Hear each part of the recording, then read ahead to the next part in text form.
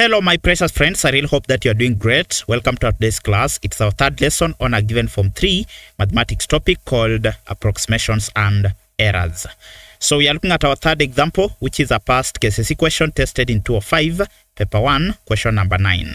It reads that the base and perpendicular height of a triangle measured to the nearest centimeter are 6 centimeters and 4 centimeters respectively. Find part A of the question, the absolute error in calculating the area of the triangle. Now, in order for us to get the absolute error in calculating the area, we'll first of all start by getting the absolute error, uh, the absolute uh, error in the given dimensions. Uh, so the given dimensions, of course, are the base of that particular uh, triangle and the perpendicular height uh, of that particular uh, given triangle.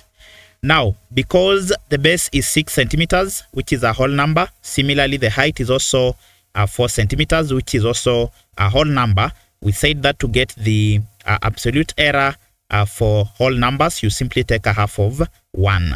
So this will give us uh, 0.5. Therefore, we can get the limits within which at the base and also at the height of this particular triangle uh, exists. Now, the actual base is um, 6 centimeters so that means the maximum possible, uh, uh, that is base of this particular triangle, you'll simply take 6, then you add the absolute error, which of course is 0.5. Then to get the minimum possible uh, base, you simply take 6, then you subtract the absolute error, which is 0.5. Therefore, the limits within which our base uh, and of course the height exists will be uh, 6 plus 0.5 this will give us 6.5 therefore this is the, the maximum possible base. Then uh, 6 minus 0.5 will get 5.5 uh, therefore these are the limits within which our base exists.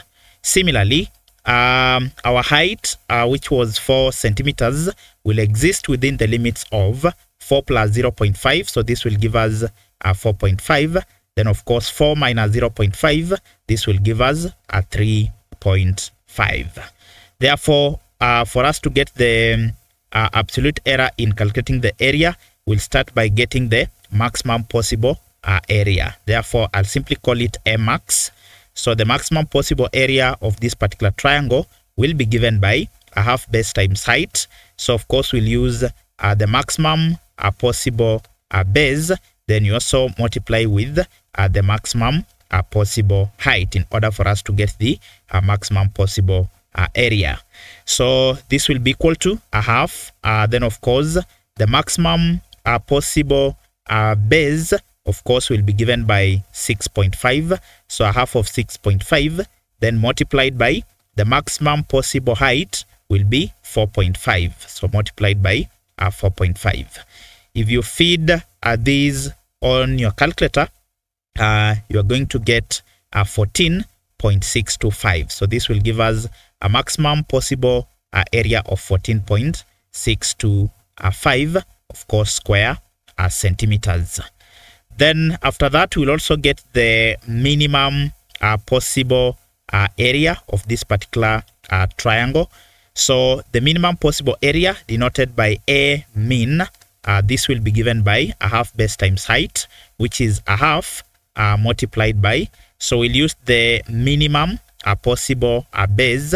Then you also multiply with uh, the minimum uh, possible uh, height of this particular triangle.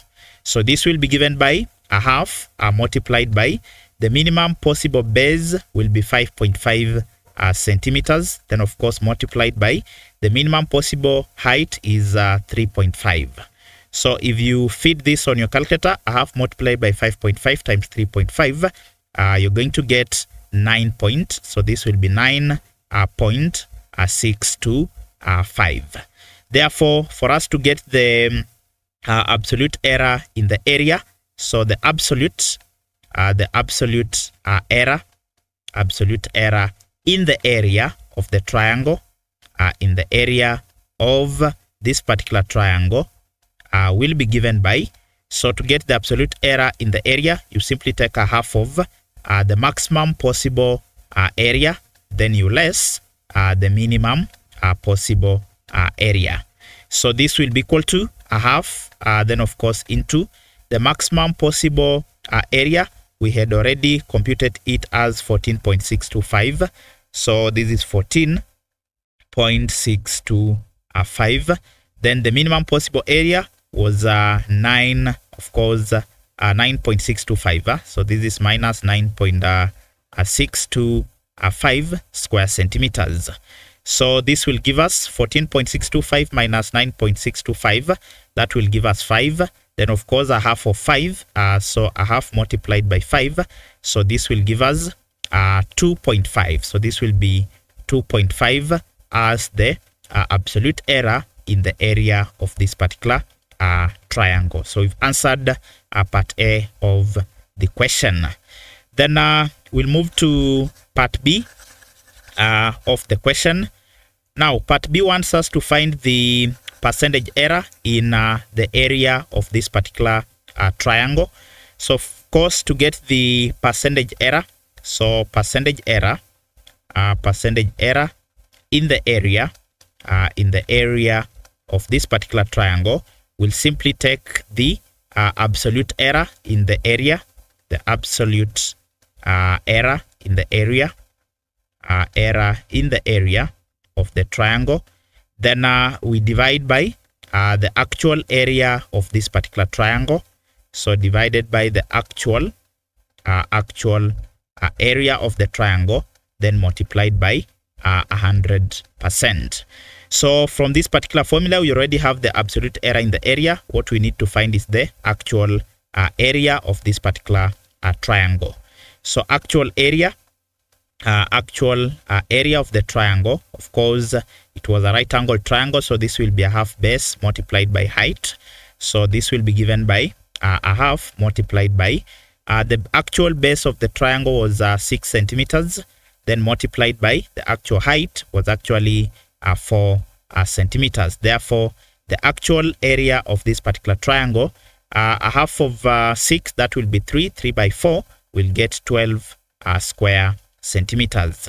Therefore, uh, the percentage error in the area, so the percentage error, uh, percentage error in the area, in the area of the triangle, of the triangle, uh, will be given by the following. So we'll take the absolute error uh, in the area of the triangle, which we got as 2.5. So this will be 2.5, uh, then divided by uh, the actual area of the triangle, which we are getting as 12 uh, square centimeter, then of course multiplied by uh, 100%. So if you feed this on your calculator, you're going to get a 20 whole number, uh, 5 over uh, 6%. Remember questions involving uh, getting percentage error, it's advised where possible you can even leave your answer in a fraction form uh, due to the fact that fractions are usually exact answers, that is, they are not approximated. However, if the question gives you instructions to approximate the answer, then you can give us the final answer in an approximated form. For example, in part B, we are told to find the percentage error in the area, giving our answer correct to one decimal uh, place. So this to one decimal place will actually give us 20.8%. Uh, so this will be 20.8%.